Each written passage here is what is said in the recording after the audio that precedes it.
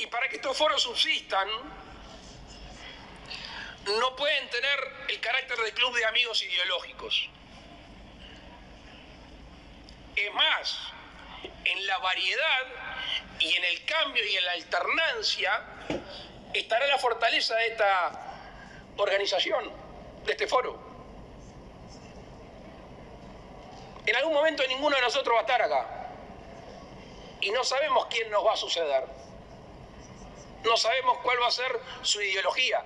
Sí sé, y hablo en nombre de Uruguay, que venga quien venga va a representar los intereses nacionales. Y va a venir aquí a la CELAC a apostar a este foro. Entonces, mal hacemos en ponerle un tinte ideológico a la CELAC.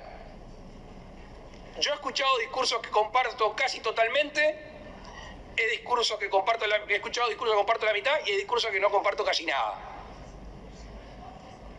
Pero aún así, sin compartirlos, entiendo que nuestras naciones se tienen que vincular. Y por eso, cuidado con la tentación ideológica en los foros internacionales. Porque lo que sucede es que cuando cambie la ideología de un lado, cambie para otro, los foros se desvanecen. Y ahí nace otro foro y otro foro y así sucesivamente. Y es cuando el derecho internacional empieza a perder confianza en los pueblos.